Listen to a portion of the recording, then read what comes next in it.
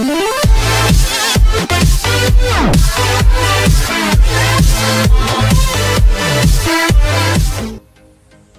bóng đá hôm nay, Paul Pogba có giá gần bằng Neymar.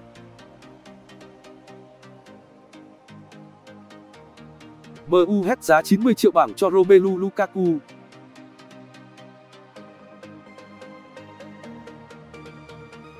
Arsenal tìm người thay Laurent Koscielny là những tin tức đáng chú ý trong bản tin hôm nay.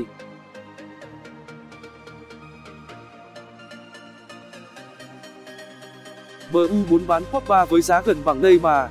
Tờ Standard cho biết MU đã nói với Real Madrid rằng Paul Pogba có mức giá gần bằng với Neymar 198 triệu bảng, 222 triệu euro. Quyết tâm chiêu mộ Pogba của Real Madrid tiếp tục đối mặt với thử thách khi mà MU đã quyết định tăng giá cầu thủ người Pháp. Ban đầu, MU muốn bán Pogba với giá 150 triệu bảng nhưng lúc này, Quỷ đỏ đã tăng giá lên gần 198 triệu bảng, bằng với số tiền mà PSG bỏ ra để kích hoạt điều khoản giải phóng của Neymar ở Barca vào năm 2017. MU tin rằng với giá cả chuyển nhượng đang tăng vọt cộng với việc Pogba còn 3 năm hợp đồng, nên họ có thể nâng mức giá tiền vệ người Pháp lên gần 198 triệu bảng. Real Madrid rất muốn chiêu mộ Pogba trong mùa hè này để chiều lòng huấn luyện viên Zinedine Zidane.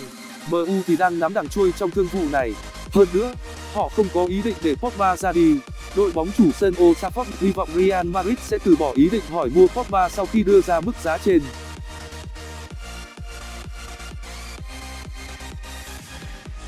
Arsenal tìm người thay Koscielny. Theo tờ Metro Anh, Arsenal muốn chiêu mộ trung vệ Ruben Dias để thay thế Laurent Koscielny. Koscielny đã từ chối tham gia vào chuyến du đấu mùa hè của Arsenal. Cầu thủ 33 tuổi đã gặp huấn luyện viên Unai Emery và tuyên bố rằng anh muốn ra đi trong mùa hè này. Cầu thủ người Pháp đã nhận được rất nhiều sự quan tâm của các câu lạc bộ tại League 1. Arsenal chỉ có 45 triệu bảng mua sắm trong mùa hè này. Tuy nhiên do Koscielny đòi ra đi nên pháo thủ có thể phải tăng thêm ngân quỹ chuyển nhượng. Họ đã để mắt đến Ruben Dias Benfica. Cầu thủ 22 tuổi này có điều khoản giải phóng trị giá 57,6 triệu bảng nhưng Arsenal hy vọng rằng có thể hạ bớt được mức giá của hậu vệ người Bồ Đào Nha. Dias đã thi đấu 55 trận ở mùa giải trước cho Benfica và ghi được 4 bàn thắng. Anh đã góp công lớn giúp Benfica giành được chức vô địch ở giải vô địch quốc gia Bồ Đào Nha mùa giải vừa qua.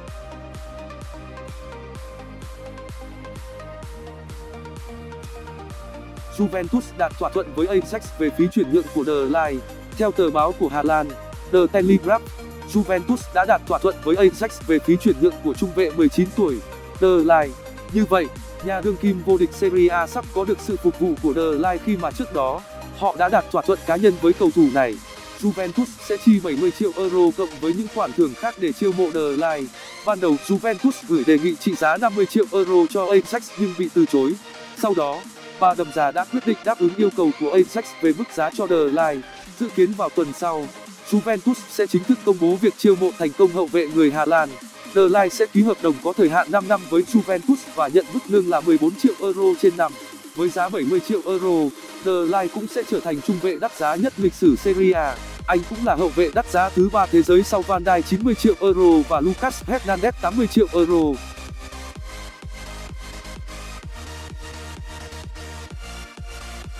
Buffon đã từ chối MU và Man City. Theo tờ Daily Mail Anh, thủ môn Gianluigi Buffon 41 tuổi đã từ chối MU và Man City trước khi anh trở lại Juventus vào mùa hè này. Cách đây một năm, Buffon rời Juventus để chuyển sang PSG. Tuy nhiên anh đã quay lại mái nhà xưa sau khi không giành được suất bắt chính ở PSG.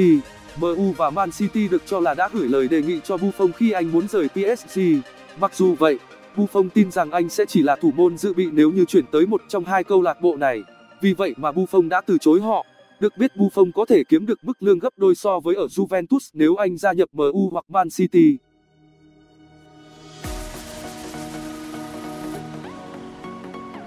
Atletico Madrid tuyên bố Barcelona trả thiếu tiền mua Griezmann. Barcelona xác nhận rằng họ đã chiêu mộ thành công tiền đạo Antoine Griezmann từ Atletico Madrid với giá 120 triệu euro. Tuy nhiên Atletico Madrid cho rằng đội bóng xứ Catalonia đã trả thiếu tiền mua tiền đạo người Pháp. Đội bóng thủ đô Madrid thậm chí sắp khởi kiện Barcelona vì điều này. Được biết, Antoine Griezmann đã ký gửi số tiền trị giá 120 triệu euro ở trụ sở ban tổ chức La Liga để đơn phương chấm dứt hợp đồng của mình với Atletico Madrid. Sau đó, Barca thông báo Griezmann đã trở thành cầu thủ của mình. Mặc dù vậy, Atletico Madrid đã phản đòn khi cho rằng 120 triệu euro là không đủ để giải phóng Griezmann. mức phí giải phóng hợp đồng của Griezmann vốn là 200 triệu euro và kể từ tháng 7 năm nay, nó chỉ còn 120 triệu euro. Phía Atletico Madrid lập luận rằng số tiền đã ký gửi là không đủ để kích hoạt điều khoản giải phóng hợp đồng của Griezmann bởi rõ ràng Barca đã đạt thỏa thuận với cầu thủ này trước khi mức phí của anh ấy giảm từ 200 triệu euro xuống còn 120 triệu euro. Atletico Madrid tin rằng hợp đồng của Griezmann đã bị phá vỡ vào cuối mùa giải trước trên cơ sở các sự kiện, hành động và tuyên bố của cầu thủ. Do vậy, câu lạc bộ đã bắt đầu các thủ tục tố tụng để bảo vệ quyền và lợi ích hợp pháp của mình. Atletico Madrid tuyên bố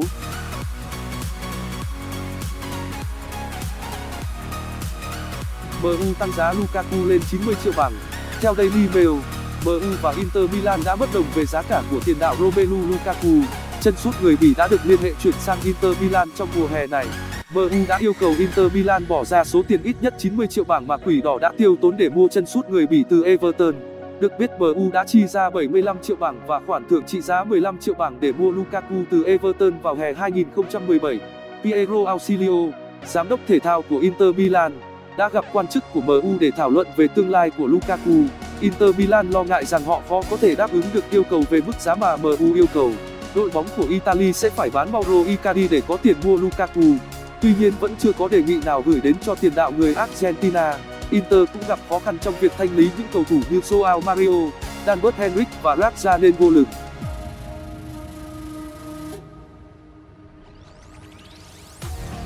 Đến với tin bóng đá Việt Nam, câu lạc bộ Thành phố Hồ Chí Minh được thưởng 1 tỷ đồng. Dù đang không có phong độ tốt ở V-League 2019 nhưng khi được trở về sân nhà gặp Bình Dương, Thành phố Hồ Chí Minh đã chơi cực kỳ ấn tượng với hai bàn thắng có được và giành chọn 3 điểm trên sân nhà. Thầy trò huấn luyện viên Trung Huy, C ông đã nhận được 1 tỷ đồng tiền thưởng từ ban lãnh đạo câu lạc bộ bóng đá Thành phố Hồ Chí Minh. Hiện tại Thành phố Hồ Chí Minh đang có được 30 điểm, hơn đội xếp thứ hai là Hà Nội 28 điểm. Hà Nội FC vẫn chưa thi đấu vòng 13. Chiều nay Hà Nội sẽ được chơi trên sân nhà tiếp đón đội Vét Bảng S Khánh Hòa.